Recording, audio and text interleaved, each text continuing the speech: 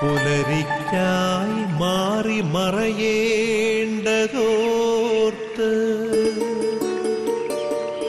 ചന്ദ്രനക്ഷത്രാദികൾ വിതുമ്പുമ്പോൾ മാറ്റമില്ലാതെങ്ങും വിരാജിക്കും. ദൈവമേ അങ്ങയെ വാഴ്ത്തുന്നു ഞങ്ങൾ. ഉദിച്ചെങ്ങും പ്രഭതൂകും പാരിലെ സൂര്യരശ്മിയേക്കാൾ പ്രശോഭിച്ചെന്നും പ്രസാദമേകുന്ന. ദൈവമേ അങ്ങേ മഹിമാവെത്ര മനോജ്ഞം ഇന്നത്തെ പ്രഭാത വിരുന്നിലേക്ക് ലോകമെമ്പാടുമുള്ള ഗുഡ്നസ് ടി വിയുടെ എല്ലാ മാന്യപ്രേക്ഷകർക്കും ഹൃദ്യമായ സ്വാഗതം. ഈ മനോഹരമായ പ്രഭാതത്തെ ഓർത്ത് ദൈവത്തിന് നമുക്ക് നന്ദി പറയാം. ഓരോ പ്രഭാതത്തിലും സ്നേഹത്തിന്റെ പുതിയ തലങ്ങൾ തീർത്ത് സ്നേഹത്തിന്റെ പുതിയ പദ്ധതികൾ നമുക്കായിട്ട് ഒരുക്കി നമ്മെ കൈപിടിച്ചുകൊണ്ട് വരുന്ന സർവശക്തനായ ദൈവത്തെ നമുക്ക് ഈ പ്രഭാതത്തിൽ ആരാധിക്കുകയും സ്തുതിക്കുകയും മഹത്വപ്പെടുത്തുകയും ചെയ്യാം. ഈ പ്രഭാതത്തിൽ നമ്മളായിരിക്കുമ്പോൾ നമ്മുടെ അമ്മയായ പരിശുദ്ധ കനികാമറിയത്തെ നമുക്ക് ഓർക്കാം. അമ്മയുടെ മാധ്യസ്ഥം നമുക്ക് അപേക്ഷിക്കാം. പ്രത്യേകിച്ചും മാതാവിന്റെ പിറവിത്തൊരുനാളിന് ഒരുക്കമായിട്ട് എട്ട് നോമ്പ് നമ്മൾ അനുഷ്ഠിച്ചുകൊണ്ടിരിക്കുകയാണ് ഈ ദിവസങ്ങളിലൂടെ നമ്മൾ കടന്നു പോകുമ്പോൾ മാതാവിന്റെ പ്രത്യേകമായ മധ്യസ്ഥം നമ്മുടെ ജീവിതത്തിൽ നമുക്ക് അപേക്ഷിക്കാം. നമ്മെ തന്നെ മാതാവിന് പൂർണമായിട്ട് നമുക്ക് സമർപ്പിക്കാം. എപ്രകാരം മാതാവ് പിതാവായ ദൈവത്തിന് തന്നെ തന്നെ സമർപ്പിച്ചുവോ? അപ്രകാരം നമ്മെ ഓരോരുത്തരെയും പിതാവായ ദൈവത്തിന്റെ കരങ്ങളിൽ സമർപ്പിച്ചുകൊണ്ടും ദൈവത്തിന്റെ ഹിതം നിറവേറ്റിക്കൊണ്ടും പോകുന്നതിനുള്ള കൃപയും അനുഗ്രഹവും നമുക്ക് ഓരോരുത്തർക്കും തരണമേ എന്ന് നമുക്ക് പ്രാർത്ഥിക്കാം. നന്മ നിറഞ്ഞ മറിയമേ സ്വസ്തി. കർത്താവ് അങ്ങയുടെ കൂടെ സ്ത്രീകളിൽ നീ അനുഗ്രഹിക്കപ്പെട്ടവളാകുന്നു. അങ്ങയുടെ ഉദരത്തിന് ഫലമായ ഈശോ അനുഗ്രഹിക്കപ്പെട്ടവനാകുന്നു. പരിശുദ്ധ മറിയമേ തമ്പുരാന്റെ അമ്മേ പാപികളായ ഞങ്ങൾക്കു വേണ്ടി എപ്പോഴും ഞങ്ങളുടെ മരണസമയത്തും തമ്പുരാനോട് അപേക്ഷിച്ചു കൊള്ളണമേ. ആമേ പ്രിയപ്പെട്ടവർ ഈ പ്രഭാത വിരുന്നിലൂടെ നമ്മൾ കടന്നു പോകുമ്പോൾ നമ്മുടെ എല്ലാ നിയോഗങ്ങളും കർത്താവിന്റെ തിരുസന്നിധിയിൽ നമുക്ക് സമർപ്പിക്കാം. പ്രത്യേകിച്ചും ഏകസ്ഥരായിട്ട് ഈ ലോകത്തിൽ കഴിയുന്ന ആളുകളെ നമുക്ക് പ്രത്യേകമായിട്ട് ഓർക്കാം. അവരെ പലതരത്തിലുള്ള ആകുലതകൾ അലട്ടുന്നുണ്ട്. കർത്താവ് അവരുടെ കൂടെ ആയിരുന്നുകൊണ്ട് അവരുടെ ആകുലതകൾക്കൊക്കെ ഉത്തരം നൽകണമേ എന്ന് നമുക്ക് ഈ പ്രഭാതത്തിൽ അവരെ എല്ലാവരെയും സമർപ്പിച്ച് പ്രത്യേകമായിട്ടും നമുക്ക് പ്രാർത്ഥിക്കാം. ഈ പ്രഭാതത്തിൽ ദൈവത്തിന്റെ വചനങ്ങൾ ശ്രവിക്കുന്നതിനായിട്ട് നമുക്ക് നമ്മെ തന്നെ ഒരുക്കാം. കർത്താവിന്റെ വചനം ഓരോരുത്തരുടെയും ഹൃദയത്തിലേക്ക് കടന്നു ചെല്ലുമ്പോഴാണ് അവരിലൊക്കെ മാറ്റങ്ങൾ സംഭവിക്കുന്നത്. ഈശോ എനിക്ക് ഏറ്റവും ഉചിതമായ വചനങ്ങൾ നൽകി എന്നെ അനുഗ്രഹിക്കണമേ എന്ന് നമുക്ക് പ്രാർത്ഥിക്കാം. കർത്താവിന്റെ വചനം ശ്രവിക്കുന്നതിനായിട്ട് നമ്മുടെ ഹൃദയങ്ങളെ നമുക്ക് തുറക്കാം. നമ്മുടെ ഹൃദയങ്ങളിലേക്കും ജീവിതങ്ങളിലേക്കും ദൈവത്തിന്റെ വചനം കടന്നു വന്ന് നമ്മെ ഓരോരുത്തരെയും രൂപാന്തരപ്പെടുത്തണമേ പരിവർത്തനപ്പെടുത്തണമേ എന്ന് നമുക്ക് പ്രാർത്ഥിക്കാം. നമുക്ക് കർത്താവിന്റെ വചനം ശ്രവിക്കുന്നതിനായിട്ട് പരിശുദ്ധാത്മ അഭിഷേകത്തിനായിട്ട് നമുക്കൊരുങ്ങാം. പരിശുദ്ധാത്മാവിന്റെ അഭിഷേകത്താൽ ദൈവത്തിന്റെ വചനം നമ്മിൽ നൂറുമേനി ഫലം പുറപ്പെടുവിക്കുന്നതിനുള്ള സാഹചര്യം ഒരുക്കി തരണമേ എന്ന് നമുക്ക് പ്രാർത്ഥിക്കാം. തൂമഞ്ഞിൽ വിടരും പുഷ്പസുഗന്ധമെത്രയോ ഹൃദ്യം. പരിമളത്തിനുറവയാം നറുസൗരഭ്യമാകട്ടെ ഞങ്ങളുമീ മണ്ണിൽ.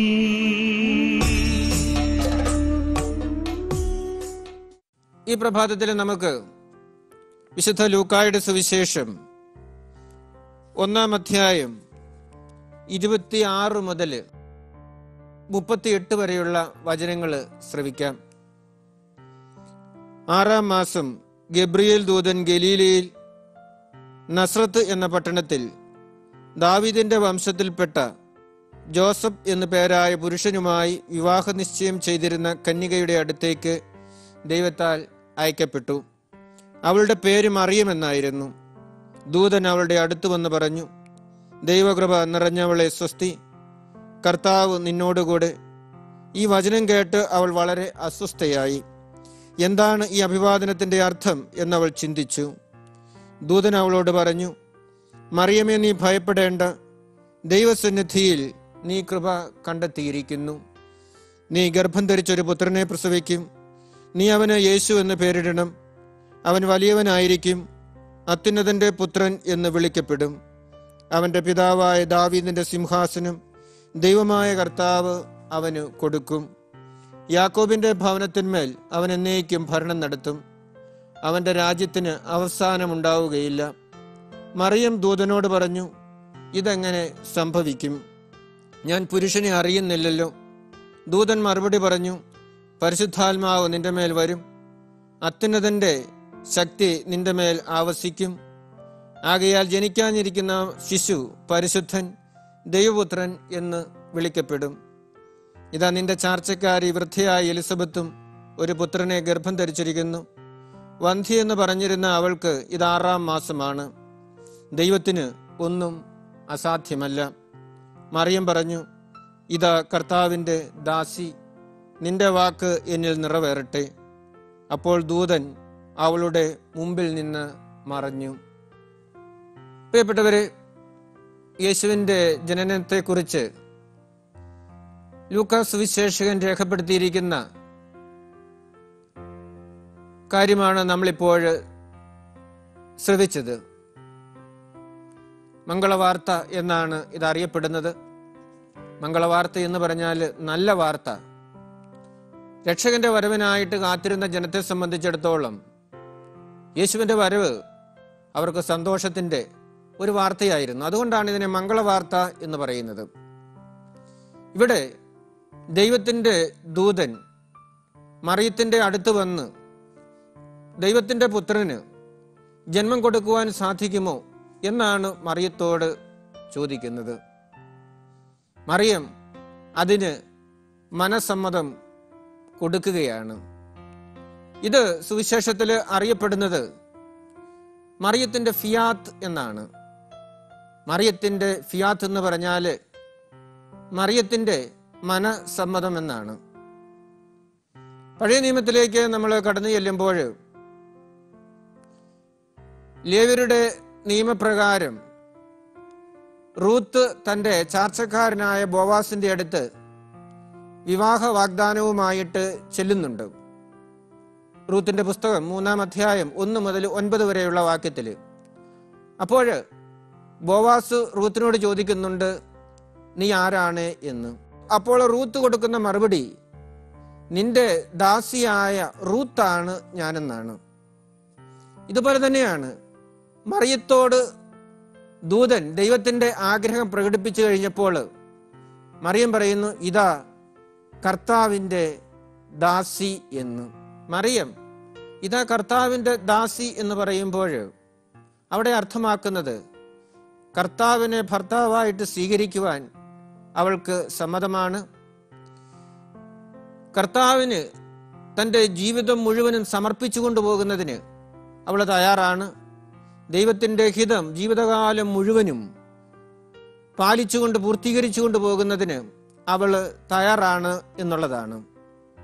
വിശുദ്ധ ഗ്രന്ഥത്തിലൂടെ നമ്മൾ കടന്നു പോകുമ്പോൾ ദൈവം ഓരോരുത്തരെയും ഓരോ ദൗത്യ നിർവഹണത്തിനായിട്ട് വിളിക്കുമ്പോൾ അവരെല്ലാവരും കൊടുക്കുന്ന മറുപടി ഇതാ ഞാൻ എന്നുള്ളതാണ്. ദൈവം മോശയെ വിളിക്കുന്നുണ്ട്. തന്റെ അമ്മായിപ്പനായ ജത്രോയുടെ ആടുകളെ മേയിച്ചുകൊണ്ട് കുറേബ് മലയിൽ മോശ ആയിരിക്കുമ്പോൾ ഇതാ ദൈവം വിളിക്കുകയാണ്.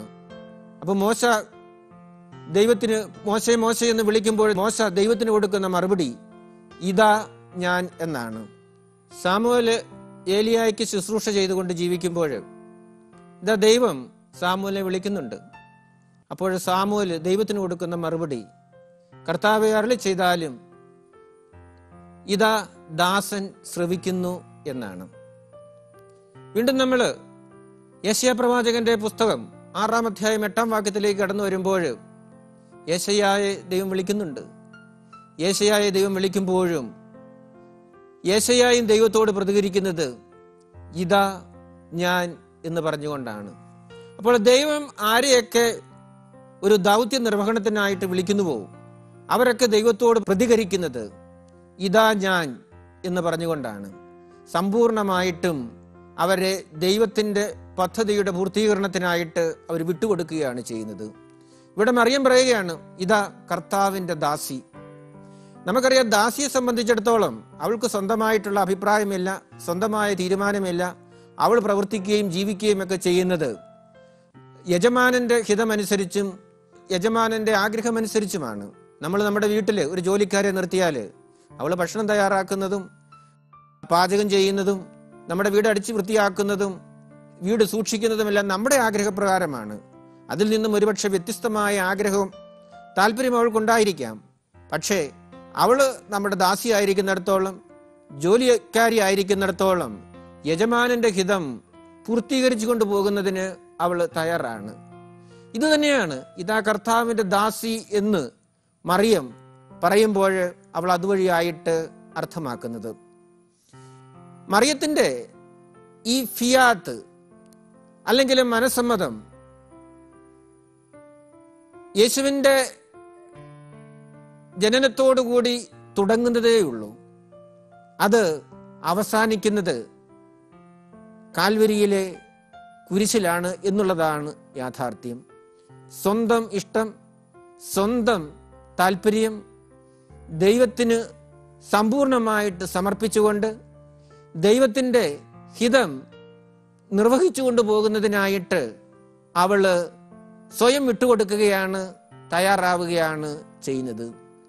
മർക്കോസിന്റെ സുവിശേഷം മൂന്നാം അധ്യായം മുപ്പത്തി അഞ്ച് അനുസരിച്ച് യേശു പറയുന്നത് മറിയത്തിന്റെ മഹത്വം അടങ്ങിയിരിക്കുന്നത് അവൾ ദൈവത്തിന്റെ ഹിതം പൂർത്തീകരിക്കുന്നതിൽ ആയിരുന്നുവെന്നാണ്. അതുകൊണ്ടാണല്ലോ ഈശോ അവിടെ പറയുന്നുണ്ട് എന്റെ പിതാവിന്റെ ഹിതം നിർവഹിക്കുന്നവരാണ് എന്റെ മാതാവും പിതാവും സഹോദരിയും സഹോദരനും എല്ലാം എന്ന്. പ്രിയപ്പെട്ടവർ ദൈവത്തിന്റെ ഹിതം നിർവഹിച്ചുകൊണ്ട് പോകുന്നതിൽ നമുക്ക് മാതൃകയായിട്ട് നിൽക്കുന്നത് യേശുക്രിസ്തു തന്നെയാണ്. ലൂക്കായുടെ സുവിശേഷം രണ്ടാം അധ്യായത്തിൽ യേശുവിനെ ദേവാലയത്തിൽ കാണാതെയായിട്ട് വീണ്ടും ദേവാലയത്തിൽ വെച്ച് കണ്ടുമുട്ടുമ്പോൾ മാതാപിതാക്കൾ യേശുവിനോട് വന്ന് ചോദിക്കുകയാണ് നീ എവിടെയായിരുന്നു? എന്തുകൊണ്ടാണ് നീ ഞങ്ങളെ ഇങ്ങനെ വിഷമിപ്പിച്ചത്? എന്ന് ചോദിക്കുമ്പോൾ യേശു കൊടുക്കുന്ന മറുപടി എന്താണ്? ഞാൻ എന്റെ പിതാവിന്റെ കാര്യങ്ങളിൽ വ്യാപൃതനാകേണ്ടതല്ലയോ എന്ന്.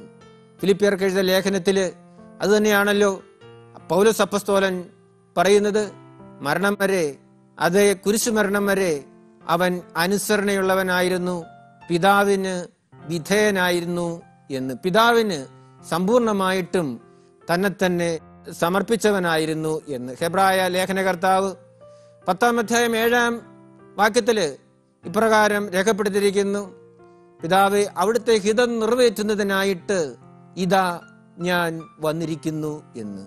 പിതാവിന്റെ ഹിതം നിറവേറ്റിക്കൊണ്ട് പോയവളാണ് നമ്മുടെ അമ്മയായ പരിശുദ്ധ കനികാമറിയം പ്രിയപ്പെട്ടവരെ ഒരു ക്രൈസ്തവൻ എന്ന നിലയിൽ ക്രിസ്തുവിൽ വിശ്വസിക്കുന്ന വ്യക്തി എന്ന നിലയിൽ ദൈവത്തിന് സമ്പൂർണമായിട്ടും സമർപ്പിച്ചുകൊണ്ട് പോകുന്നതിനായിട്ട് വിളിക്കപ്പെട്ടവരാണ് നമ്മൾ ഓരോരുത്തരും.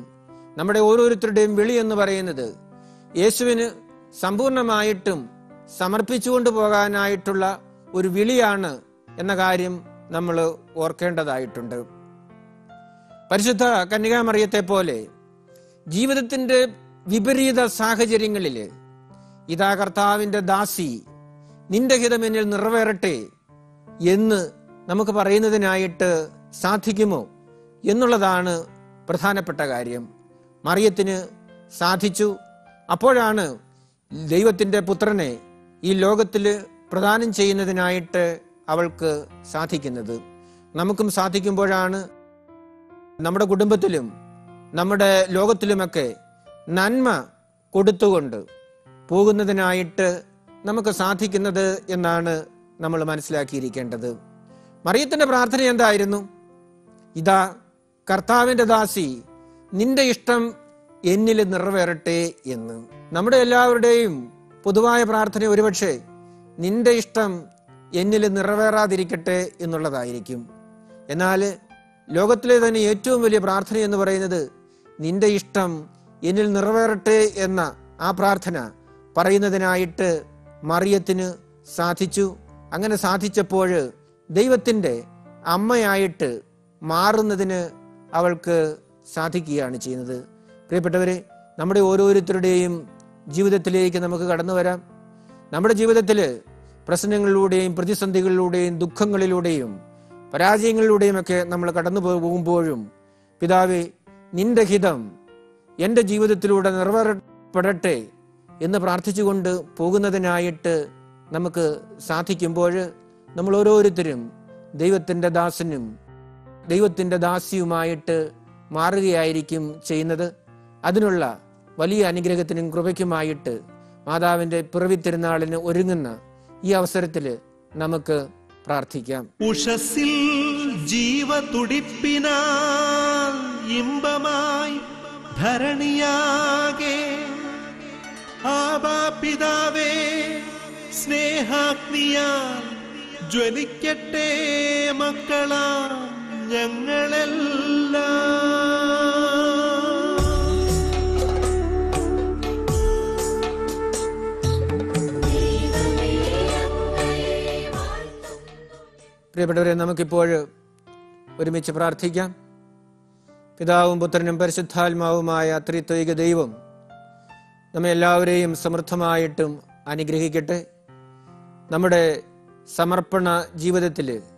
കുടുംബജീവിതത്തിലായാലും സന്യാസ സമർപ്പണ ജീവിതത്തിലായാലും സമ്പൂർണമായിട്ടും ദൈവത്തിന് സമർപ്പിച്ചു കൊണ്ടുപോകുന്നതിനുള്ള അനുഗ്രഹവും കൃപയും സർവശക്തനായ ത്രിത്വൈക ദൈവം നമുക്ക് ഓരോരുത്തർക്കും തരട്ടെ.